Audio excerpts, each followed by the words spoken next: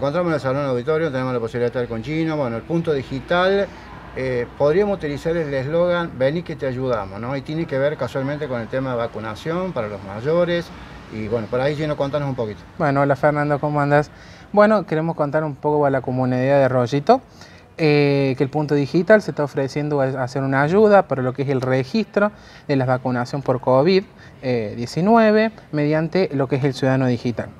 Eh, bueno, vimos como muchas personas que eh, adultas, mayores de 60, 70, que no, están, no tienen acceso a internet, a las computadoras, entonces le damos una mano.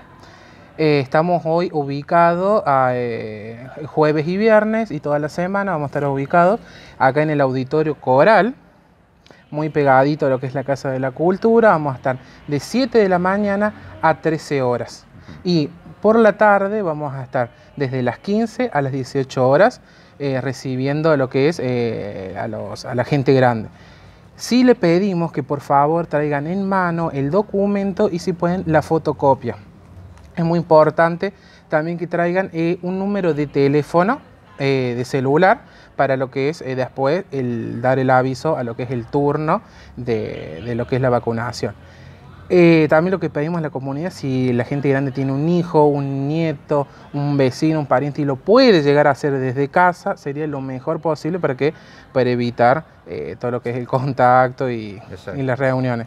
Entonces, todas aquellas personas que no tengan acceso a lo que es, la, lo que es el internet y lo que es computación, pueden acercarse al auditorio Coral de 7 a 13 y eh, de 15 a 18. Bien, lo que se deja bien en claro, Gino, es que es un solo lugar para que no haya confusión. Eh, bueno, se ha hablado mucho de, este tema para, para, evitar la confusión. Digo, bueno, se tiene bien en claro el salón auditorio. Es el salón auditorio, que vos mencionabas.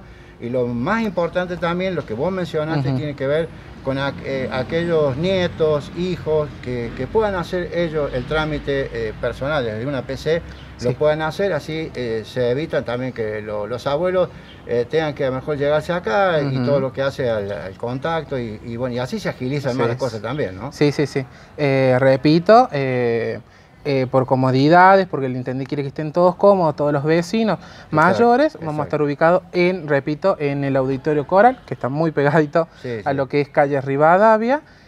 Y bueno, los esperamos todos con el DNI, con fotocopia del DNI y con número de contacto, si es posible, por favor, el número de celular. Bueno, lleno, como ¿Ah? siempre, gracias. ¿eh? No, gracias a vos, Fernando. Un saludo a todos.